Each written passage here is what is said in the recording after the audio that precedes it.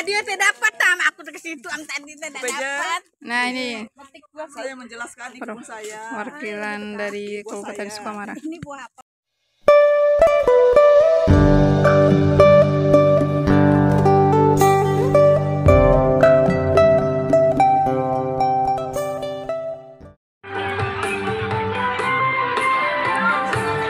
Bu, langsung saja, Bu. Mangga, nggih. Langsung langsung aja, nggih. Langsung.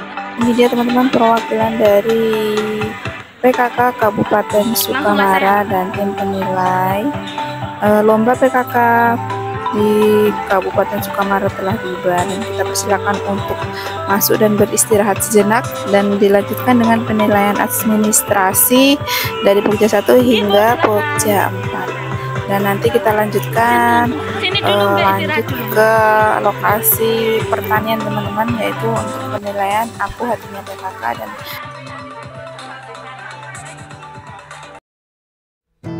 Assalamualaikum warahmatullahi wabarakatuh. Welcome to my youtube channel Lina Borneo. Dalam kesempatan kali ini kita berada di salah satu rumah warga yang kita kunjungi dalam rangka penilaian lomba Aku Hatinya PKK kita berada di salah satu petani milenial dan petani kreatif yang ada di desa Natai Kondang, Kecamatan Permata Kecubung, Kabupaten Sukamara, Kalimantan Tengah ya teman-teman.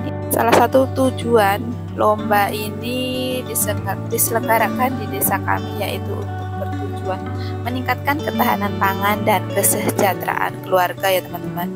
Eh, dan ini merupakan program yang menggerakkan masyarakat dalam mem- memanfaatkan halaman rumah sekitar atau pekarangan untuk menciptakan ketahanan pangan keluarga melalui tanaman produktif baik Nah, aku buah, bunga, peternakan dan perikanan dan eh, kebetulan salah satu warga ini memenuhi semua kriteria yang ada dalam persyaratan lomba kali ini.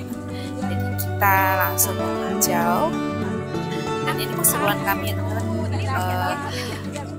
dalam manggisnya, guys.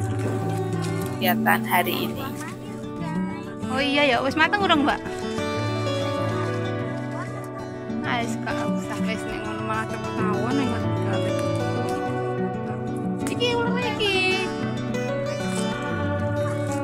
Ular ular hijau-hijau.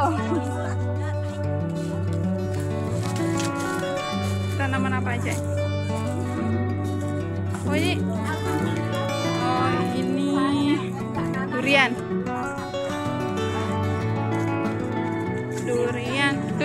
mine.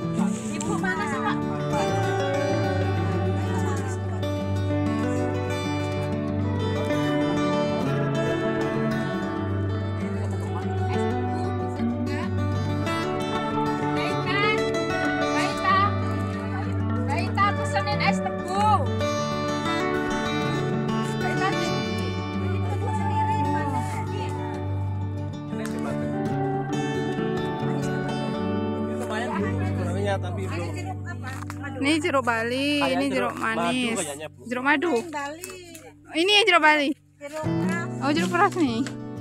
Bali kan Pak. Bukan. Bukan, jeruk peras. Oh, mirip jeruk Bali ya. Coba aku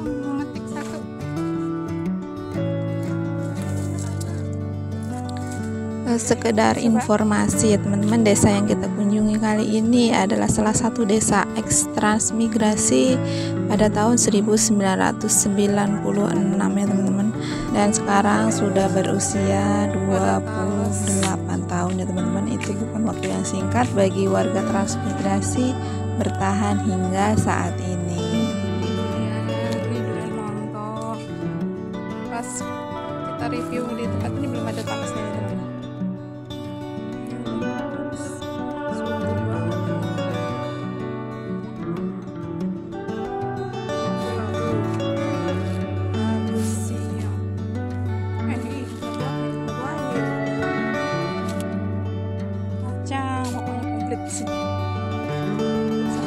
Sukses.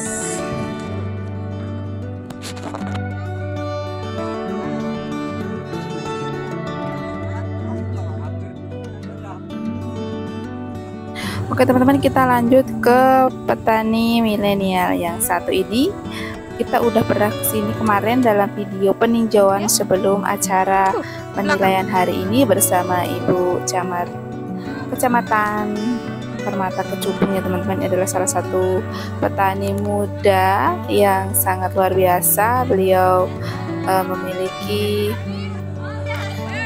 apa sayur menanam sayur sendiri mempunyai peternakan. Terus ini ada budidaya ikan berbagai macam ikan di sini teman-teman